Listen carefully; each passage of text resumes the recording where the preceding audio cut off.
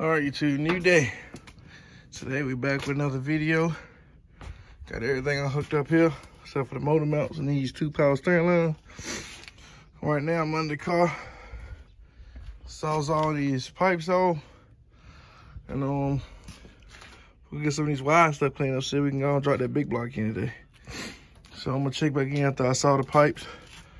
We get ready to take this engine out. I gotta take the hood and stuff off. And um, we check back in, YouTube. All right, we back. We got the motor out. I'm gonna clean up under here, get some of the stuff painted, the hard stuff to paint. I'm gonna stick the motor in, I'll touch all the rest of the stuff up later. I wanna get the motor sitting in the car today. So, it's the old 305.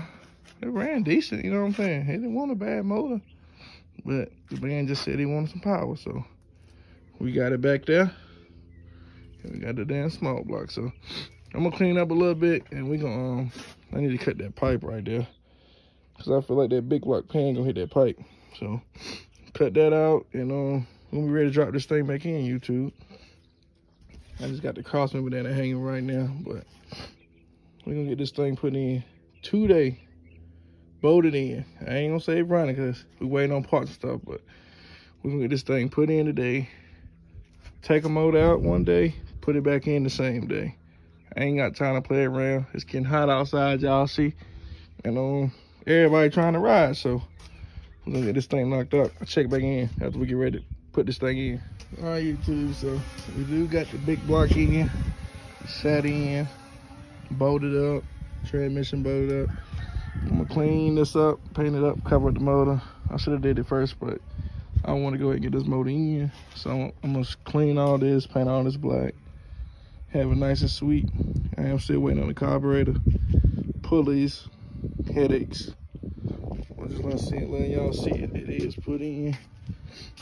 I took one out and put one in the same day, well, the same morning. So I don't want y'all to fall for them shops saying, oh, it ain't possible. Yes, it is possible. So we're gonna check back in to get some more progress on it, but the big block is in. You already know. Yes, sir.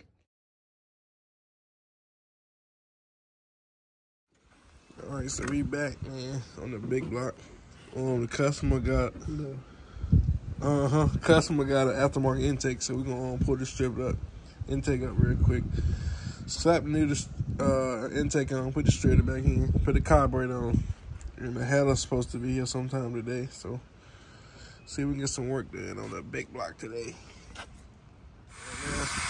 Cleaning those uh, new intake gasket out. We put the new intake and stuff on. We're gonna uh, some valve new intake going. We work with check back in with that stuff on. We back trying to get these headers on. And the new headers is hitting the bottom of the motor mount. So Matty Matt over here knocking out the motor mounts on the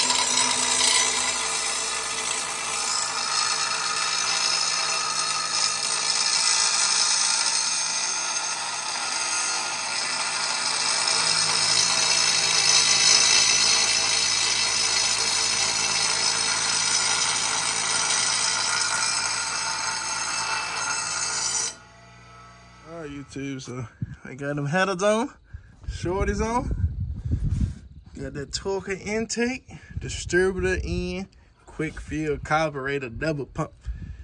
We're gonna see what we got. Let me show you everything. All right, Matt, I'm gonna turn those and get some gas up there. See if we can pull it from the tank.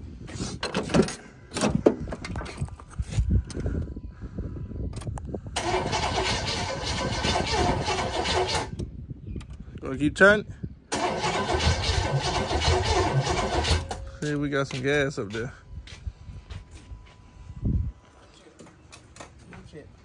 That's it. Ah.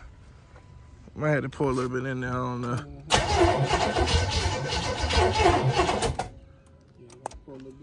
We're gonna pour a little bit again. Hold up. All right, YouTube. So we got this thing.